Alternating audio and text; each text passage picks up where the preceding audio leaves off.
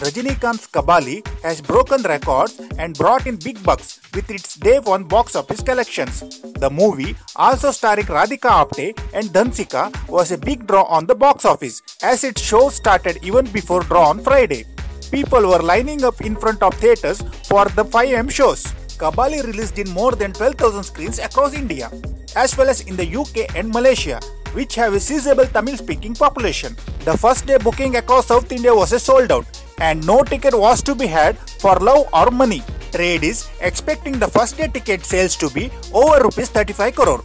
Trade analyst Taran Adarsh tweeted, Countdown for hugely awaited Kabali begins. Unprecedented craze for Rajinikanth starer. All set for an earth-shattering start at box office. As per experts, the movie which saw a tremendous opening at the Indian box office also dominated the box office in the international market, emerging as number 1 in Malaysia, number 3 in USA Canada and number 10 in UK. The film has reportedly earned rupees 200 crore already with the sale of satellite rights etc.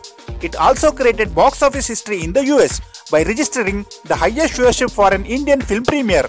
This means at least one record made by Bahubali and Salman Khan Sultan has already been shattered.